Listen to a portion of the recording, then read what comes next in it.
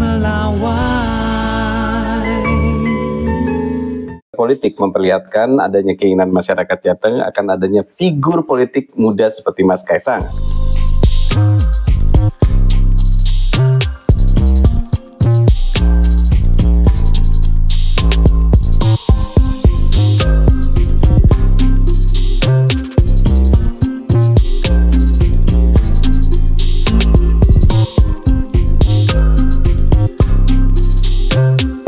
Politik memperlihatkan adanya keinginan masyarakat Jateng akan adanya figur politik muda seperti Mas Kaisang.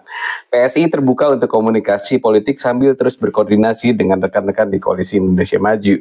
Pada saat ini, para pimpinan partai politik tentu mempertimbangkan beberapa atau banyak faktor dalam menentukan dukungan Cakada. Elektabilitas dan popularitas, popularitas calon pastinya merupakan pertimbangan yang penting Uh, kemarin sempat ada pernyataan dari Mbak Puan dan Pak Ahmad Buzani ter terkait Mas Kaisang. Nah, beliau-beliau ini kan uh, tokoh politik nasional, ya tokoh politik nasional yang juga merupakan pimpinan parpol besar. Adalah kehormatan apabila keduanya itu melihat atau melirik Mas Kaisang sebagai salah satu kandidat yang potensial. Nah, Ketika keduanya bilang bahwa Mas Kaisang itu menarik untuk dipertimbangkan, maka PSI melihatnya sebagai dampak positif dari hasil survei. Eh, PSI selalu menghargai terbukanya ruang partisipasi bagi para pemimpin muda untuk ya berpartisipasi di bidang politik ya. Kedua daerah secara strategis penting ya.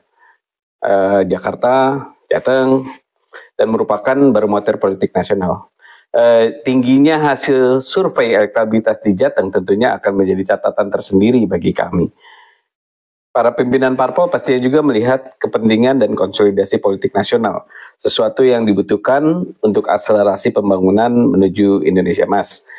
Sampai sekarang Mas Ketum masih fokus untuk mempersiapkan calon-calon kepala daerah yang akan didukung di banyak daerah sambil tentunya terus berkomunikasi dengan uh, koalisi Indonesia Maju, teman-teman di koalisi Indonesia Maju. Peristiwa demi peristiwa selalu terjadi dan terus berkembang sepanjang hari. Saat Anda membutuhkan informasi dengan perkembangan berita mutakhir, jadikan kami mata dan telinga Anda untuk berbagai aktualita terkini sambut kami sebagai referensi. Ikuti semuanya di Kompas TV Independen, terpercaya.